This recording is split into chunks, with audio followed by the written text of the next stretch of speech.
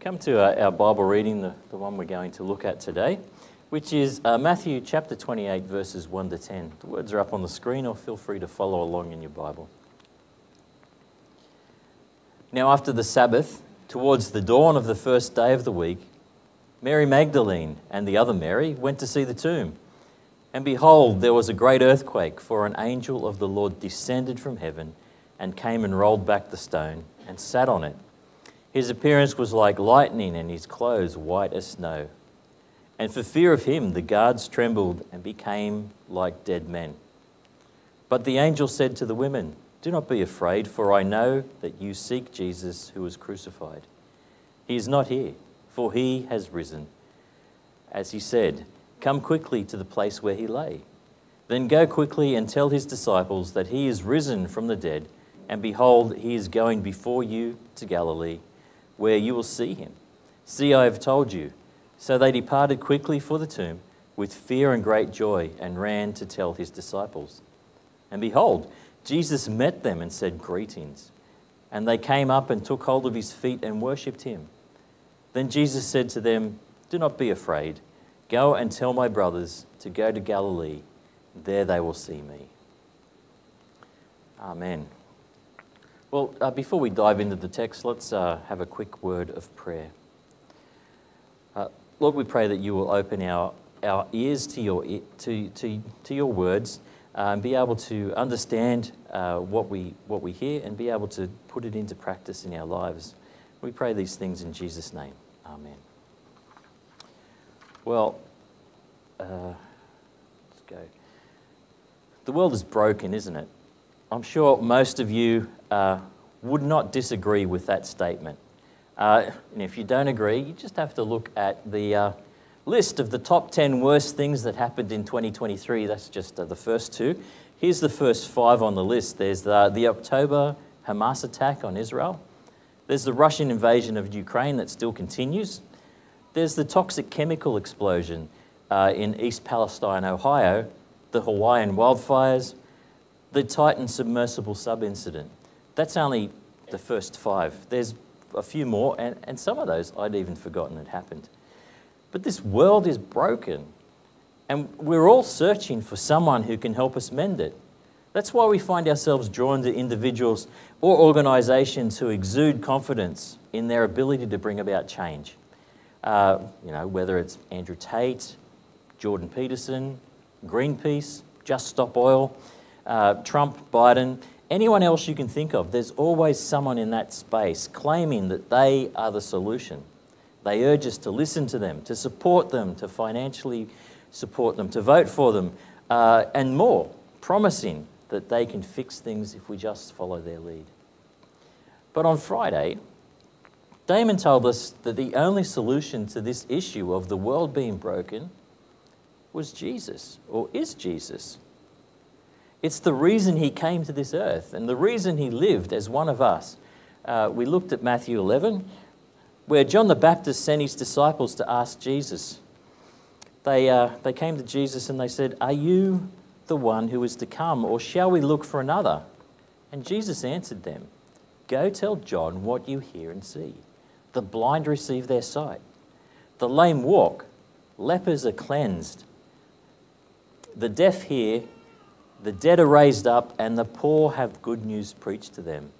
That's not fixing a broken world, I don't know what is.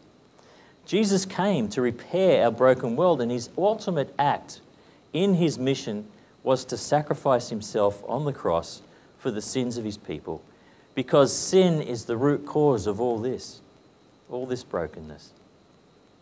Not only did he die, but he rose again from the dead. And that's what we celebrate today.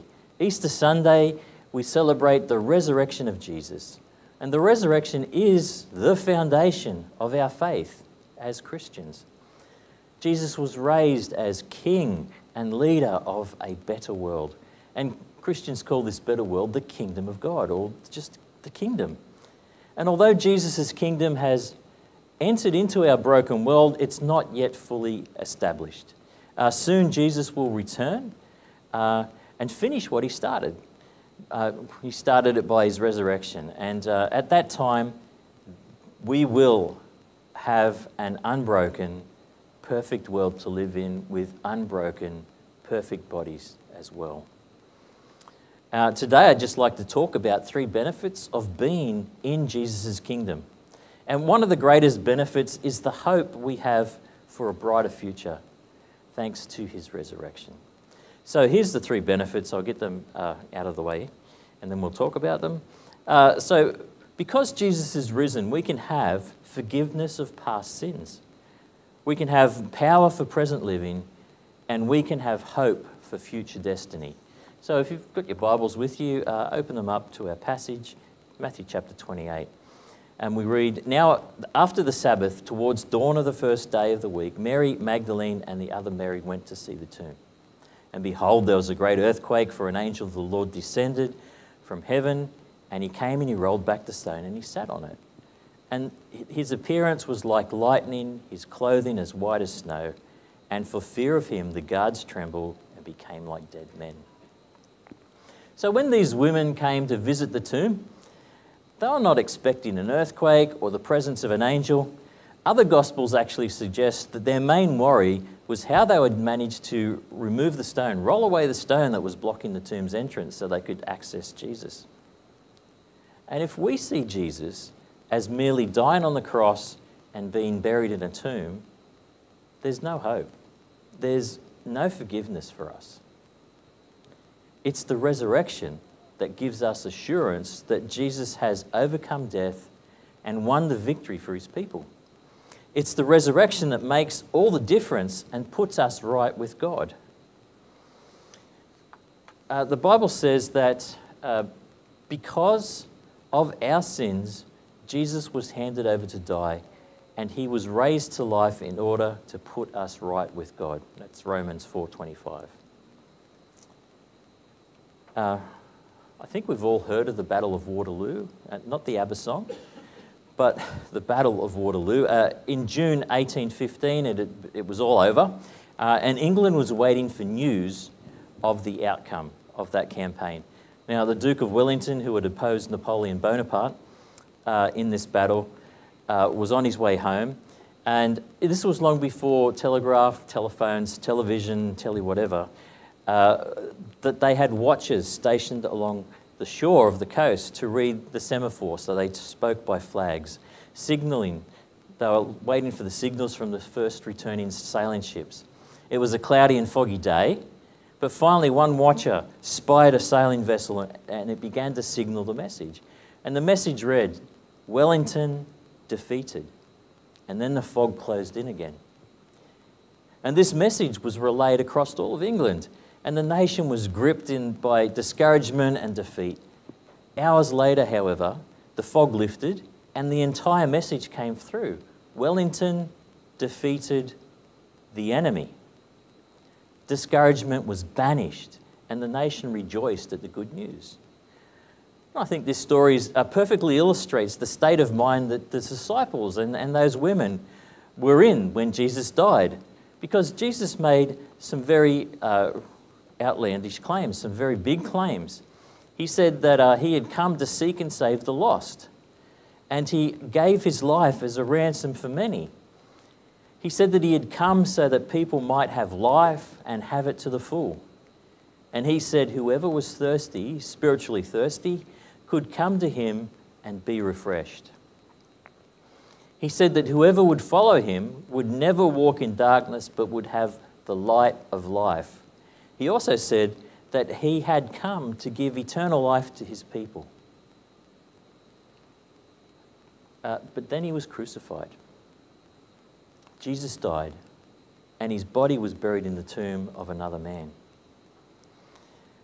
And so you could say that the message that rang out into the world on that day was Jesus defeated. Jesus defeated. And all the disciples were gripped by discouragement and defeat. But then Three days later, on Easter morning, came the resurrection. Uh, Matthew 28 5 says, But the angel said to the women, Do not be afraid, for I know what you seek, that you seek Jesus who was crucified. He is not here, he is risen. Three days after Jesus was buried, he rose. He rose physically and bodily from the grave. It took three days, but the entire message came through. Jesus defeated the enemy. And the discouragement of the disciples was dispelled, and they rejoiced at the good news. Jesus had conquered sin and death and hell. He'd conquered Satan and sin as well. When Jesus died on the cross, he paid the penalty for our sin. When he died, he defeated Satan, on, and on the cross, he conquered our enemy. The resurrection was God's stamp of approval. The resurrection was God saying, Jesus, I accept your death as a substitute for guilty sinners. The resurrection was God's proof that Jesus did the job he was sent earth, on earth to do. The resurrection is proof that his work is completed. And because of the resurrection of Jesus, we can be confident that Jesus paid the penalty for all the sins of his people. The resurrection proves that his death covers every single sin. Not one single sin has been omitted. And because of Jesus' resurrection, we can be confident that God forgave all our sins. Now, some people may find uh, this offensive, but there is no other way to heaven except through Jesus Christ, the risen Lord. Um, the Bible says salvation is found in no one else, for there is no other name under heaven given by men to which we must be saved. That's Acts 4:12. I forgot the slide for that one. Jesus paid the penalty for sin. Now, his resurrection proved that God accepted his death as a sufficient payment for sin. And the resurrection guarantees that God will forgive our sin if we sincerely and wholeheartedly cry out to Him for forgiveness. So, the first benefit of being in Jesus' kingdom is that Jesus' resurrection shows we have forgiveness for our past sins, and there is nothing we have done that cannot be forgiven. Now, the second benefit of being in Jesus' kingdom is having power for present living. And the resurrection of Jesus not only guarantees forgiveness of past sins, it also guarantees us power for present daily living because Jesus is a living Saviour. He's a Saviour who is able to empower us to live each day for Him. Uh, the Apostle Paul wrote to the Philippines, uh, Philippians, he said, uh, I can do any, everything through Him who gives me strength. Because of Jesus' resurrection, the Apostle Paul affirmed that he has power for daily living. Now, there's a, there's a story, I don't know if it's true or not, but it tells of a Muslim and a Christian sitting down together, having a chat, and uh, the Muslim says, You know, we Muslims have one thing you Christians don't have. When we go to Medina, we find a coffin, and we know that Muhammad lived because his body is in it. But when you Christians, you go to Jerusalem, you find nothing but an empty tomb. Thank you, exclaimed the Christian. What you say is absolutely true, and that makes the eternal difference. The reason we find an empty tomb is because we serve a risen Christ. Now, there's plenty of historical evidence to, to prove that Jesus rose, uh, and it's not a myth or a story.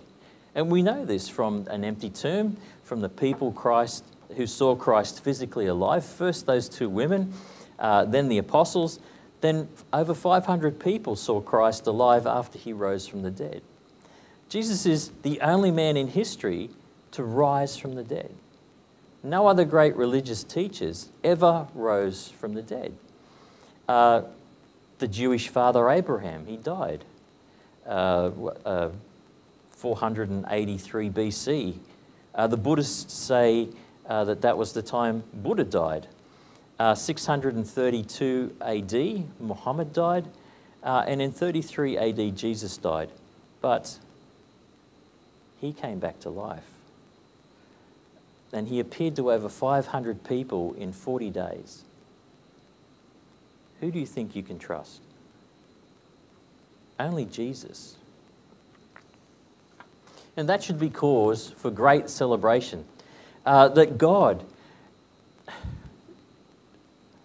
the God that we worship and serve, is alive. And that should make the difference in our attitude as well. Uh, every day, our lives can be full of hope, can be full of courage, can be full of excitement, can be full of praise and thanksgiving. Because the tomb is empty, we can have lives full of Christ as the Holy Spirit dwells within us.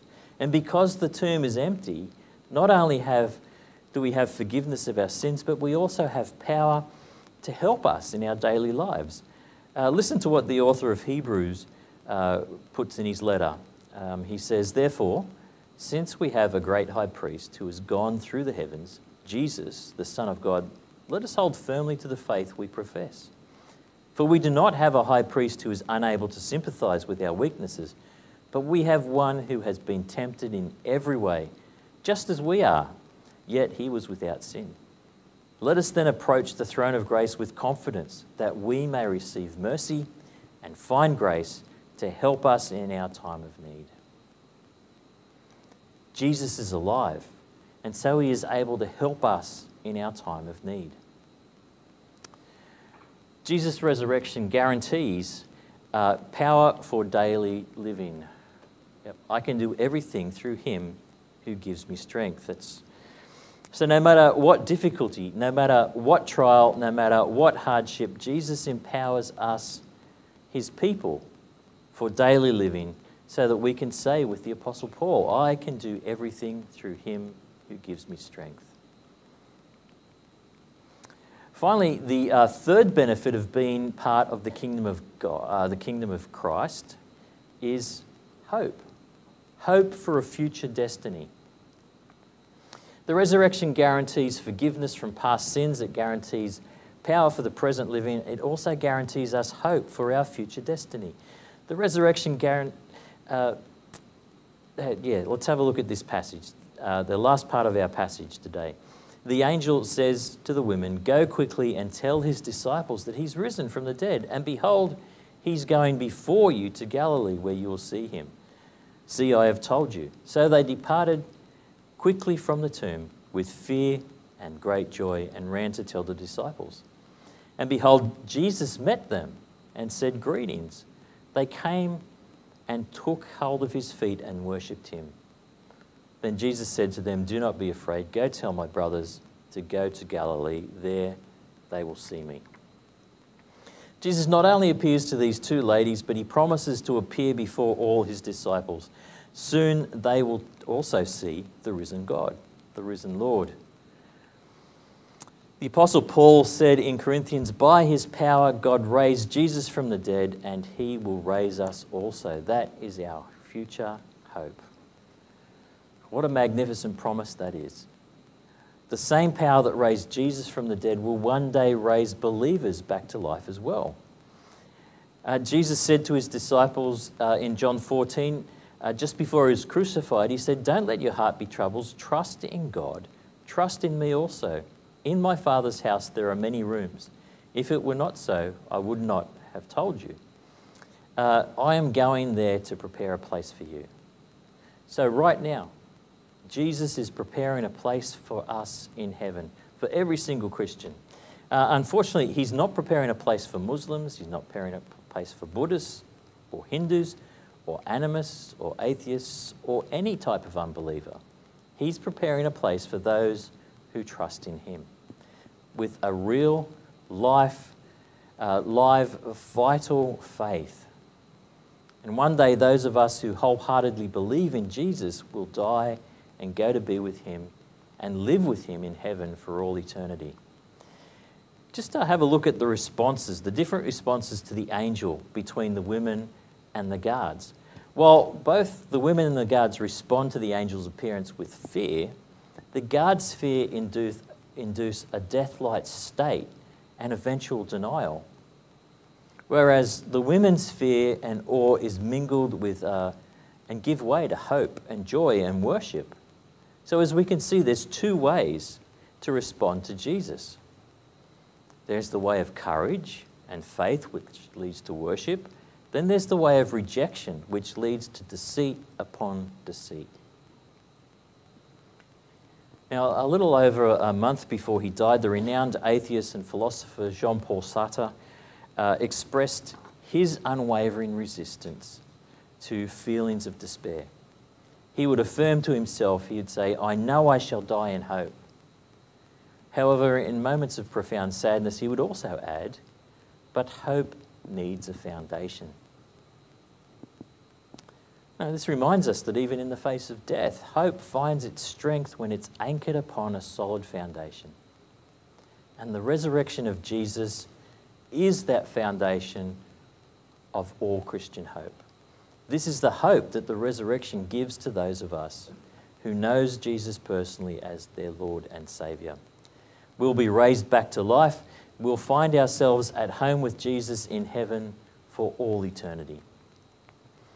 Now, um, my family visited Japan several years ago, so uh, while I was checking uh, up about tourist attractions there, I stumbled upon this.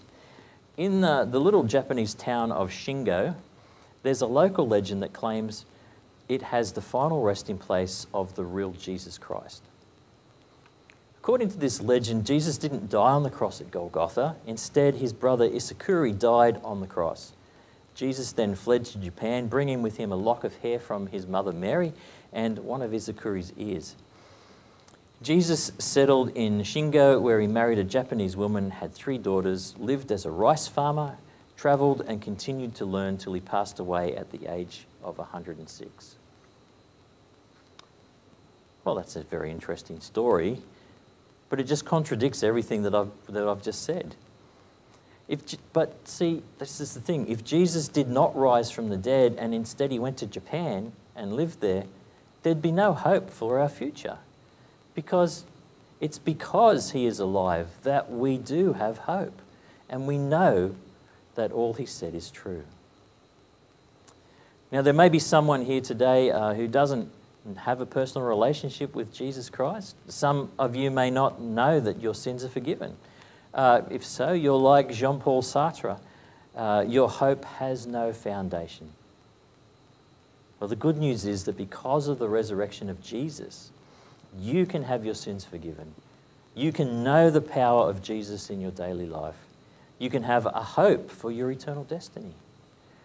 Now, let me share with you how, briefly, uh, how you can do that, how you can have that hope that I and many other people in this room have. It's quite simple. Uh, first, you must acknowledge that you are a sinner. You must recognize that your sin has offended the Almighty God. Uh, you must believe that your sin, it was your sin that sent Jesus to the cross, to die on that cross. The second thing is you must believe that Jesus died to pay for your sin. Uh, you must believe he paid for your sin, he paid for the full penalty of all your sins. And you must put your trust in Jesus alone for the gift of eternal life. And finally, third, you must confess your sin. Do this by asking God to forgive you of your sins, uh, and you do that by repenting. Repenting just means to quit willfully sinning, quit doing things that offend the Almighty God.